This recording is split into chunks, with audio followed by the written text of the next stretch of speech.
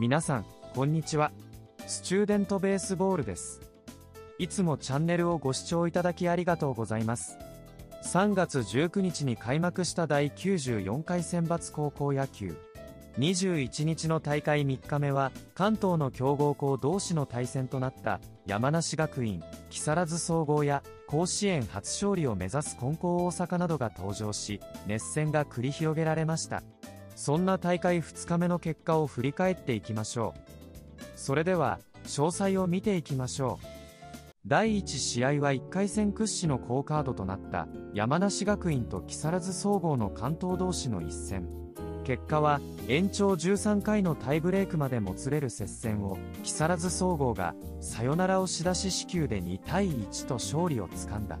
木更津総合のエース星井と山梨学院のエースへの気合が高騰を続け両者とも譲らない展開が続いたが木更津総合が関東対決を制した山梨学院はタイブレークの13回に内野5人シフトの奇策を仕掛けるも実らなかった越井が166球、榎谷が155球、両エース321球の投げ合いだった。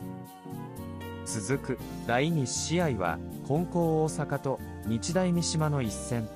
結果は金光大阪が4対0で東海王者の日大三島を破り春夏通算4度目の甲子園で嬉しい初勝利を手にした。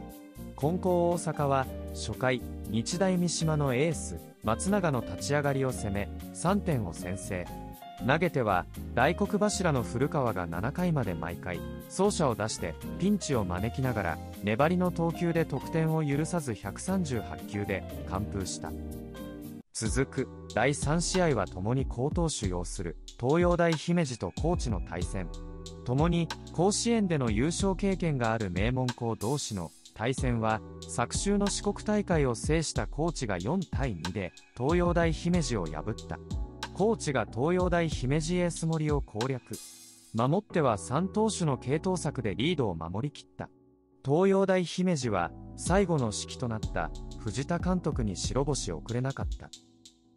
大会4日目の22日は国学院久我山対有田工業、星稜対天理、只見対大垣日大の3試合が行われます。中でも強豪同士の好カードになった星稜対天理は見応えのある試合を展開してくれるだろう。以上が詳細になります。